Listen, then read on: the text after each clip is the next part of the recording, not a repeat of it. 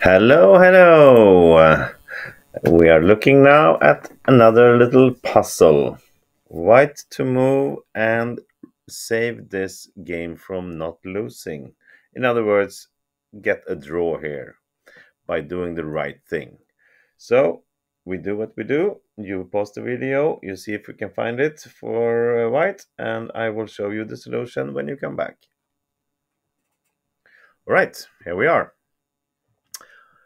I'm going to do this. I'm going to show you first the quick uh, the quick wrong answer, which is uh, knight g2 check, because black can just take, and then play king g4. Since this square is uh, locked for the king, for white's king, he has to go down, and black will get the opposition here, like this, and then promote and win. So it's not uh, knight g2. The, the other wrong answer, which has a very, very long line, uh, is king g1, which is wrong also. I will show you this line afterwards, but first I show you the solution if you don't want to see all of this. All right, so the solution to the problem is knight c2. Of course, threatening to uh, take on e3, forces black to move on to e2. And now what does white do? Well, here it comes. We don't go back to e1. Instead, we attack the pawn with knight d4. Again, threatening to, uh, to take. And of course, black cannot allow that. So he has to promote. Promotes to the queen well, looks good for black, doesn't it? But here comes the check with the fork. Wait a minute, the knight is hanging. Well, it, it is, but if black takes it, it's a stalemate. This is stalemate and it's a draw. And if white if black doesn't take it, of course we take the the queen. And it's it's a win. And of course black can promote to a knight instead knight and uh, bishop could be winning, but black will lose his bishop right away. So it's definitely, definitely a draw. All right, so that was the solution to the problem, and uh, it is really, really beautiful. But I show you, I owe you this explanation also. If you want to continue watching, I will tell you why King G1 is wrong, because black will play King G3 we try to move closer to uh, the pawn. Black gives a check on b5. We have to go back. And the pawn is pushed. All right, so now we cannot come closer with our king. Has to defend with our knight.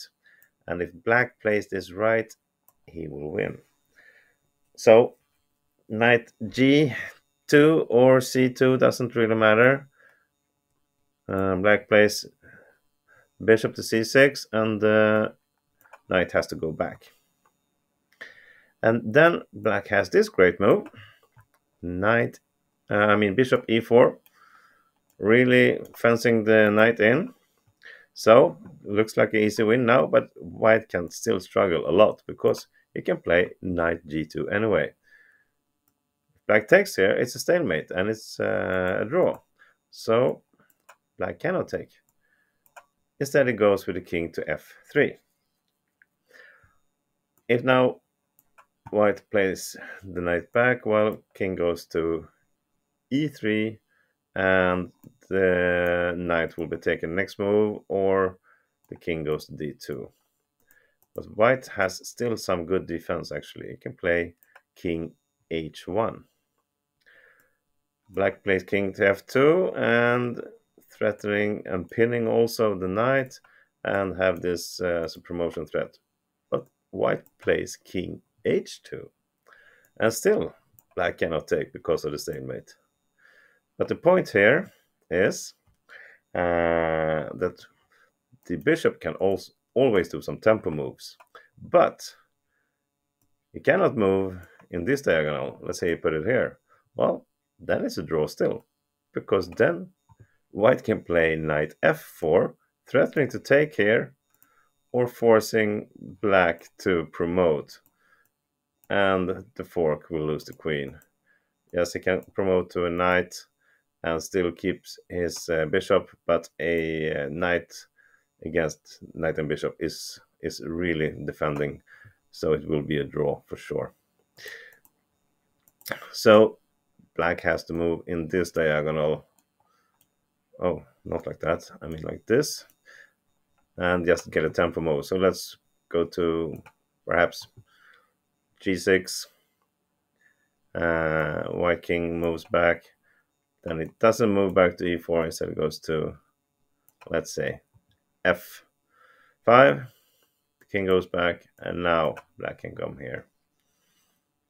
White cannot move here, he will lose the knight, and if he moves the king anywhere, black will take with a check and then promote. So that's how black wins this. It's a it's a sideline, but it's it's beautiful and it's important, of course, to show why king g1 is not saving a draw. It has to be knight c2. All right, that's all, folks. Please uh, press like on the video to help me grow my channel and of course subscribe if you're not already see you later everybody. Bye bye